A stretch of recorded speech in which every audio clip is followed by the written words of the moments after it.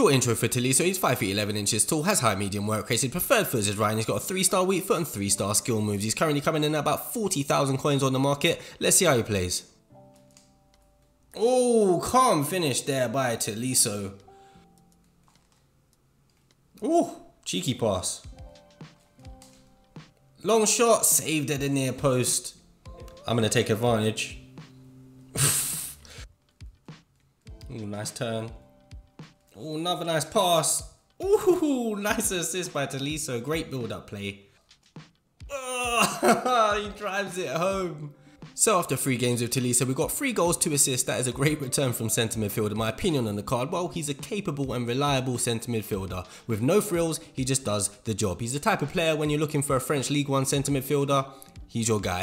Three star is a bit disappointing, but he's really well rounded with good shooting for a centre midfielder, though he does get tired due to his stamina.